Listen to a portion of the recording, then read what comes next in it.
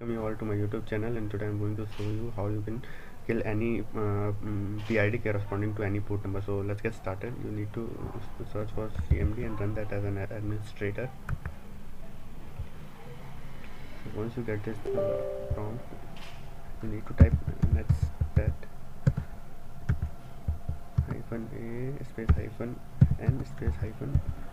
So this will list out all the port and their corresponding PIDs so let's say I want to kill the uh, 8080 port so I need to check the corresponding PID which is 4780 so what you need to type is task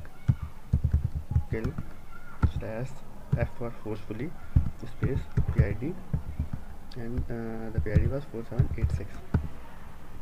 so the process okay sorry the uh, what was the PID 4780 so 4780 okay so the process is done thanks friends thanks for watching